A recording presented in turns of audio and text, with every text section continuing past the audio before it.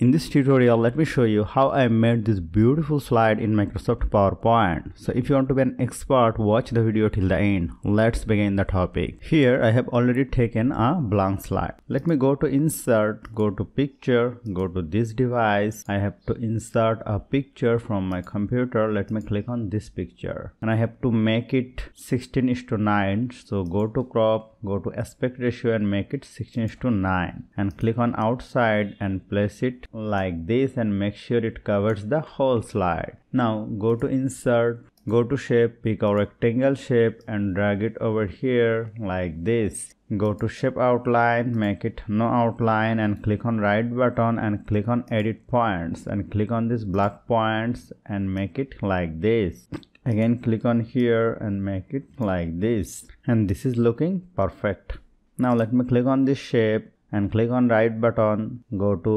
format shape go to fill go to picture or texture fill go to insert i have to insert another picture.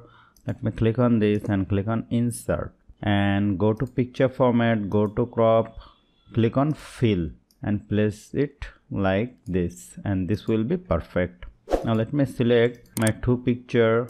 Go to picture effect go to shadow click on offset center. Let me zoom out and place this picture over here like this. And let me click on this go to animation go to add animation click on motion paths and click on lines. And effect option from right and click on this arrow sign and drag it like this. And this one will be perfect. Now let me click on this go to animation painter and click on this picture and let me click on here and make it this one like this. Now let me click on this picture. Click on after previous. Go to insert go to shape pick a text box and drag it over here like this.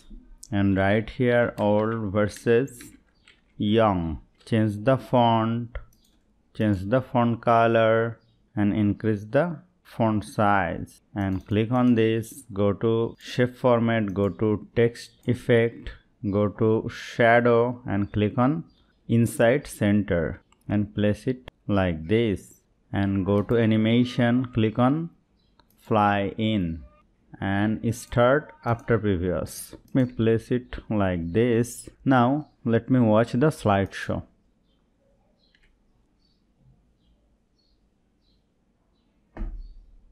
and this is perfect. So hope you found this video helpful. If you like this video please share this video with your friends and family and don't forget to subscribe. Thank you